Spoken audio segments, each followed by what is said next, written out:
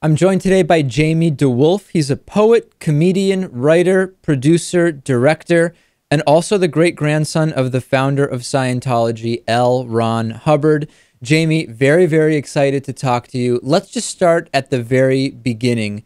What's it like growing up as the great grandson of the founder of Scientology? Were you ever a Scientologist?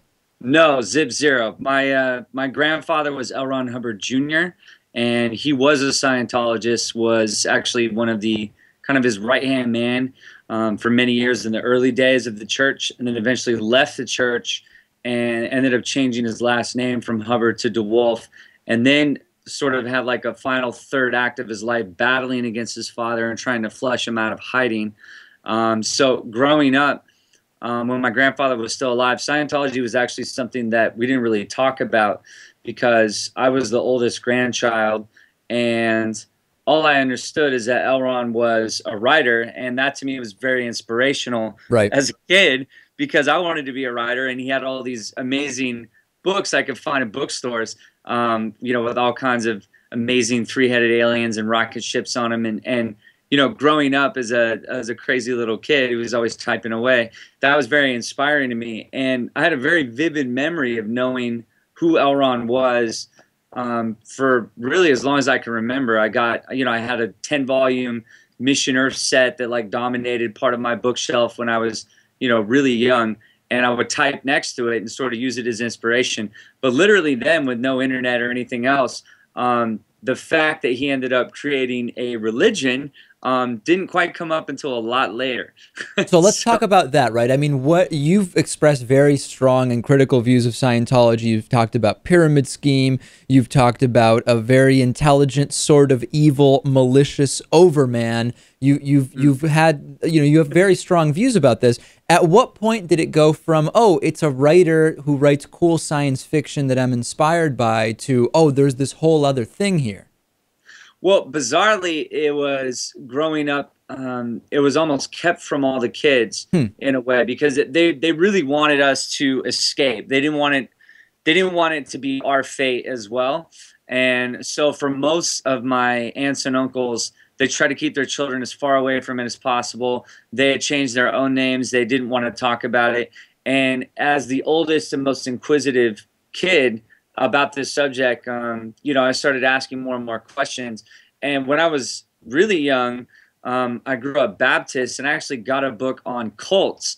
Oh, um, oh boy! From, from my reverend um, at church, and in this book, I'm flipping through it and came to a picture of L. Ron Hubbard, the same the same picture that I had seen um, on one of my aunt's, you know, walls um, for a brief period. Eventually, it had been taken down, and that was when I, I was like, Mom, what is this Scientology thing? And her face went really pale, you know, when I asked her about it. And she was really worried. She thought at first people were following me. Mm. And then I showed her the book and I started asking her questions. And she, she was definitely like, you know, someday when you're a little bit older. And I, I kept asking questions in my family and I still do. There's, there's some members of my family that won't really talk about it at all. Um, and they've been watching very carefully um, what has or hasn't happened to me simply by being public about it. Um, I'm pretty much the last member of my family that will go on record about it. I do know that.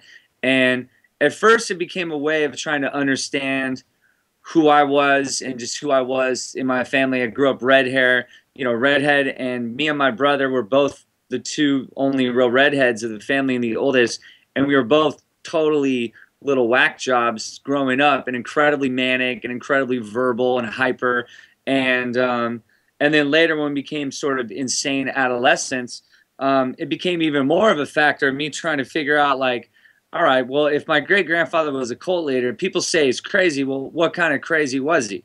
You know i mean who was this guy? You know and, and really trying to discover who he actually was as a human being past all of the myth that he had propagated about himself and and that's when it just goes further and further down the rabbit hole and i'm still asking um, i've had a lot of meetings um, you know in secret and some in public um, with ex-members, people who knew him personally, trying to get a real sense of who this guy actually was. So let's go to that. I mean, what's the kind of succinct summary if you had to say what is Scientology, what was why was it created and and what is its validity as a as a quote religion, whatever that means to, to any individual, what's the kind of view you've developed? Well, I think that L. Um, I think that the jury is still out, even to me, in terms of what actually was motivating him. I do think that it was larger than money. Um, I I don't think it was to help mankind. Um, I definitely think it was it was more of a pursuit of power and more that he had this carnivorous ego that was just sort of devouring this sort of adulation and riding himself into this hero that he never was in his real life. Who he was in real life was, I feel, even more fascinating than what he tried to propagate. The myth that he created, the, the myth that he created is that basically he was like the Leonardo da Vinci of the modern mind, um, that was one of the greatest inventors and thinkers of the last century, you know, that had invented this entire new science that could completely save humanity, literally. Sure, and, and you're talking about Dianetics. Dianetics, but, but before that, that he was a nuclear physicist, a submarine commander, a, one of the first stated casualties of World War II, went blind, resurrected himself to sight with the powers of his own mind, was a dogfighter. Uh, I mean, you know, studied at the feet of, of was a blood brother to Indians, world traveler, studied at the feet of mystics in the East. I mean, it, the list goes on and on, and is is in some way, I mean, in many is, is like utterly preposterous. If he would have just had a simple um, origin story would have been far more believable. But I mean, when you kind of march through the L. Ron Hubbard life exhibit, it, it's just absolutely amazing that that he's really trying to make you believe that this all happened in one life. And I think a lot of it is that he, at a certain point, really wanted to be that person. And Scientology was a way for him to write himself into becoming that character um, that he had always, you know, written about in his books. I think that he was naturally a storyteller. I think he was a natural born hustler. He showed a propensity for lies um, at a very early age. Um, he was profoundly prolific, um, incredibly intelligent, very cunning. Um, was definitely very aware that he could kind of write himself into many positions of power and did so from a very early age. I mean, he was possessed with an utter gift of gab and had a certain sort of magnetism about him that was able to achieve a lot of his will. But I do think that one of the most fascinating aspects about him that's hidden is his whole like period experimenting with black magic and hypnotism. Right. And I know that sounds totally absurd to the regular layman, but it is it is conclusive in terms of you know, actual black sex magic with Aleister Crowley and so forth. These are not conspiracy theories. This stuff has been validated. In fact, L. Ron had to actually even um, acknowledge it to a point where he claimed that he was a secret agent sent in to break up this black magic sex ring. But so, um, Jamie, without getting, I want to bring it back to one thing that you had talked sure. about. In the conversations you've had within your family, is there right. a consensus that he never actually believed the stuff about Xenu and the aliens and all of this Scientology kind of teachings? There is is there a consensus that this was clearly something concocted and that it was not something he even believed? I think that uh, the consensus that, from what I understand, that my grandfather held near the end is that his father was incredibly clever and manipulative, and that was certainly the roots of of Scientology this, was that this is a method of controlling people. This is a method of mm. breaking people down. It's it's an incredibly efficient form of brainwashing. The way it completely deconstructs how people connect to reality, how can they connect to their community, and what I feel that near the end though is that the power that he had had for so long um, and being lost in his own fantasy land for so long that I feel this stuff like Xenu, he was just like further and further down the rabbit hole. Right. The thing was, is that he had to keep coming up with something um, that was he had to keep dangling the carrot further and further because he's promising you superhuman godlike abilities.